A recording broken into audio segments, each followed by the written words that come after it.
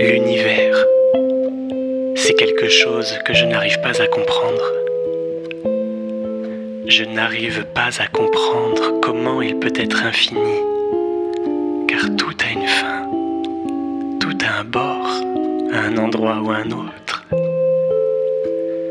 Mais si l'univers a une fin, qu'est-ce qu'il y a après l'endroit où il finit? Peut-être rien. Mais qu'est-ce que c'est? Rien. Car rien ne peut être rien. Tout de même, je ne comprends pas. Et je pense tout le temps à l'univers.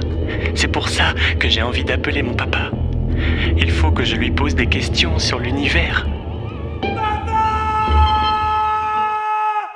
C'est une vieille dame qui m'a donné la banane.